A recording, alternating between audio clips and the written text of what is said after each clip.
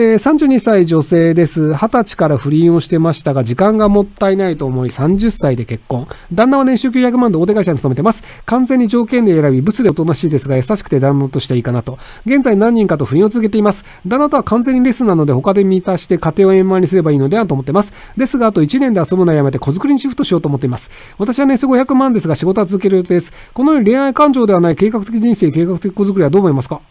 もう全然問題ないと思いますけどね。多分旦那さん気づいてると思うんですけど、ただ、不細工だけど、可愛い女性と夫婦になっていて、しかも今はレスですけど、子作りの時にできるので、なので、旦那さん的にも全然ありなんじゃないですか？